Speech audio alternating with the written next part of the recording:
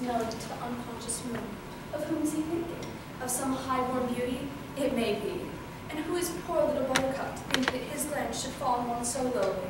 And it, yet if he knew, if he only knew. Ah, little buttercup, still on board? That is not quite right, little one. It would have been more respectable to have gone on shore at dusk. Trigger it. But the recollection of your sad, pale face chained me to the ship. I would fain to see you smile before I go. Ah, little buttercup, I feel it will be long before I recover my accustomed cheerfulness. For misfortunes crowd upon me, and all my old friends seem to have turned against me. Oh no, do not say all, Captain. That would be unfair to one, at least. True, for you are staunch to me. If I ever gave my heart again, methinks it would be to one such as this. I am touched to the heart by your innocent regard for me, and were we differently situated, I think I could have returned it. But as it is, I can never be more to you than friends. I understand. You hold aloof from me because you are rich and lofty, and I poor and.